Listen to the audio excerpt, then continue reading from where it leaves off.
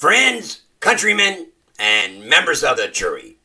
My name is Flex Peterspin, and I am running for City Congress Council. The production in this country is at an all time low, and this has nothing to do with the coronavirus or anything Toyota's doing. This has to do with the fact that downers are ruining this great country of ours. It is a tragedy beyond compensation. When I was a kid, we didn't have pills. We had methamphetamine, and we liked it that way. We tried to come up every day like the sun. Nowadays, people just wake up to come down. What the hell's the point of that? You've got too many people running around this country going, oh my god, I don't have my pills. What am I gonna do? I gotta have my pills so I can make it through the day so I can wake up tomorrow and come down again. If you want to change the production in this country, you first must change the types of scripts that are being written.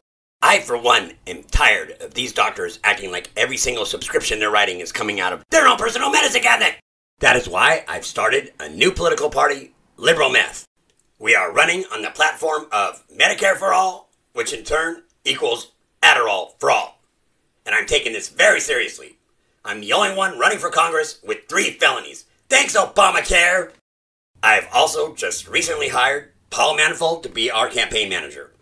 I've heard a lot of good things. And our comrade, Mr. Manifold, has just informed me that we are being 100% fully endorsed by the Kremlin. Good stuff.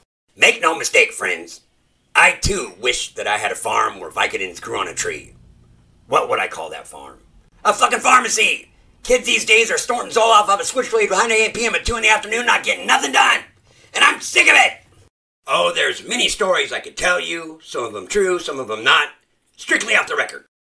The other day, I was minding my own business, digging through my neighbor's garage, and he came home early from work, and I had to jump out the window.